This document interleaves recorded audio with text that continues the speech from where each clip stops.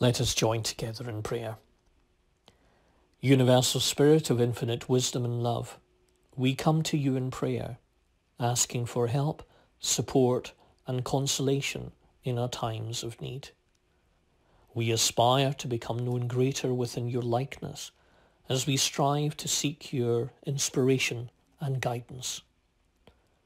Divine Spirit, we ask that your healing messengers may support all those in need represented in our hearts and prayers, and may your grace support and strengthen them. In these times of change and uncertainty, we pray that you may guide our world leaders to make the right decisions on our behalf. Heavenly Father, guide us to succeed in life, and in return, we simply thank you for being there. Amen.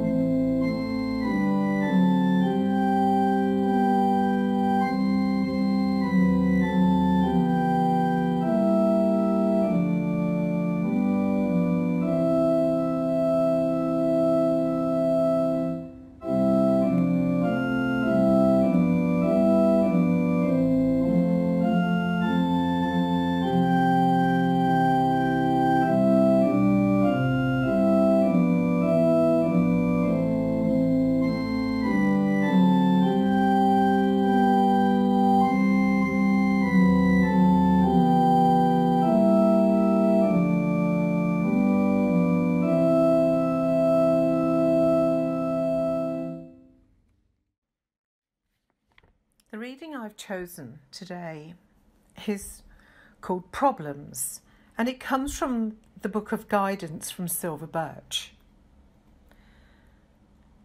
It says, The greatness of the soul is discovered only when it conquers difficulty. Discouragement is good for the soul. You must learn to allow the latent greatness of the soul to express itself. That is why you are living in a world of matter discouragement is not the end. It is the beginning. There is a power within you that is greater than anything that has yet been expressed.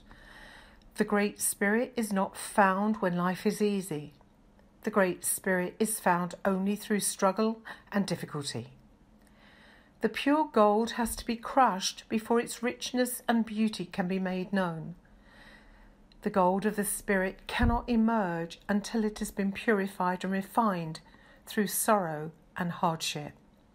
There is no other way. If some tell you that there is, I do not know it. Your world is the world where mistakes are made.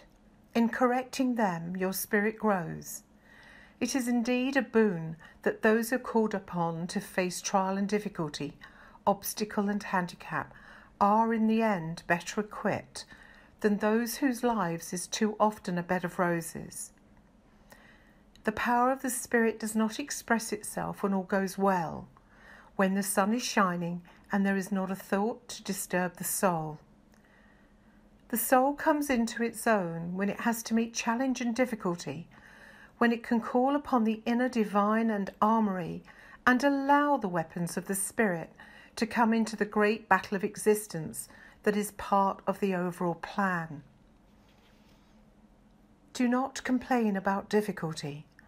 Difficulty is good for the soul. You may not like it at the time that it comes, but you'll look back and thank the Great Spirit for the opportunities that were given through difficulties to enable the gold within to be excavated.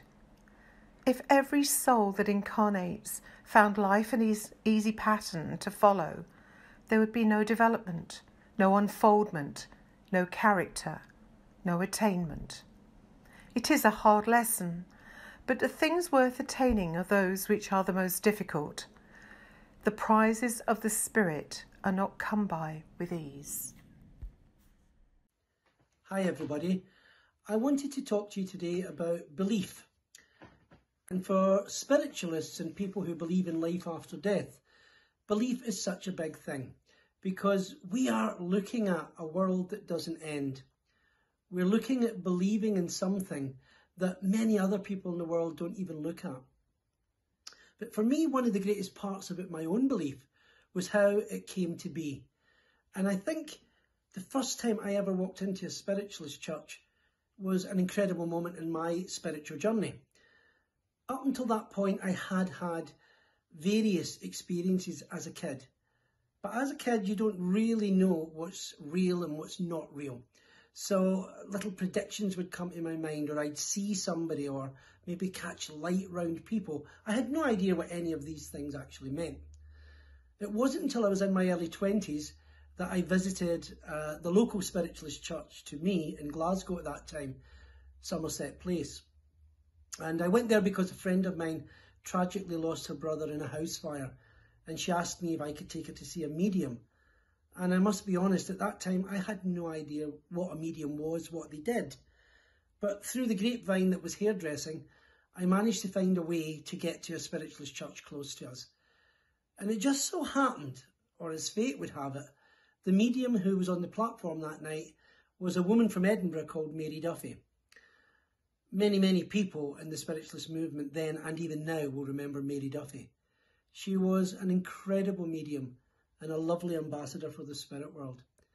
But to us newbies, we had no idea that she was so sought after. And when we sat down in the front row, assuming if you sit in the front row of this spiritualist church, you're bound to get a message something I've learned doesn't actually happen. but on that particular night, my friend Christine was so grief stricken that it was quite plain to Mrs. Duffy that this young lady was in trouble. And she came to her and said, Sweetheart, I know that you've just had a loss and I don't need to be a medium to do that. And she says, I would quite like if I could speak to you alone after the service now, I had no idea what mediums did or what the protocol was, but I thought that was a very kind thing to do, not to have my friend display her emotions all over the place and in public. But during that demonstration, Mrs. Duffy then turned to me and she said, the young fella beside you, you do know he's a medium. And my friend looked at me astoundedly and, and I actually looked behind me and beside me. And I thought, what's this woman speaking about? She gave me a message then from my grandmother, whom I'd never met, but she told me all sorts of things that I was to go home and ask my parents about, which I, I duly did, and found out that everything Mrs. Duffy said about my grandmother was actually true. But it was the last part of her message that really got me. And that's when she said, You don't yet realise, son, but in five years' time, you will be standing on this platform, right where I am now, and you'll be doing exactly what I am doing. And I thought, this is crazy. This lady is crazy. But the one thing I remember at that moment was as she spoke to me, I noticed that there was lights appeared around her. Just little, I don't know, a glow. And I thought everyone could see that, but they couldn't.